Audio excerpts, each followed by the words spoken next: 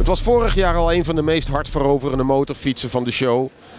En nu is het eindelijk zover dat hij zo ongeveer in productie gaat. En in het voorjaar in Nederland te krijgen is de Vitpillen van uh, Husqvarna.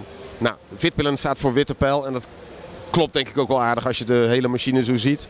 Uh, er wordt gebruik gemaakt dus van de dikke 690 eencilinder van KTM. En deze is dan nog gekieteld met allerlei power parts. Dus heftig luchtfilter, uitlaatje, het hele systeem van Akrapovic. Reken op 2.500 euro. Maar het blok levert dan met deze pijp erbij om en nabij de 84 pk. En dan praat je over een eencilinder. Nou, naast de vitpillen van Husqvarna is er ook de zwartpillen. En dat is, jawel, de zwarte pijl. Nou, die is er in 401 cc. Althans, het is de 390 blok van KTM. En hij komt ook in de 701. En dit is het conceptmodel daarvan. En als hij ook maar een klein beetje eruit gaat zien zoals hij er hieruit ziet.